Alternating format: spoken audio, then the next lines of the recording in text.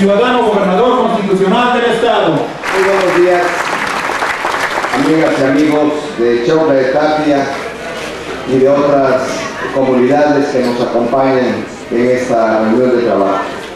Saludo a mis amigos presidentes municipales que nos acompañan esta mañana, a Sol Macario Cortino Macareno, presidente municipal de Chauca de Tapia, a los presidentes municipales de Colalpan, de Jicotlán, de Izcamilpa, de Cotzala, de Chietla, a los señores secretarios de Desarrollo Social Alejandro Armenta y de Desarrollo Rural Alberto Jiménez Merino y desde luego a nuestro amigo el diputado por esta, por esta región, el diputado Humberto Candorán Espinosa.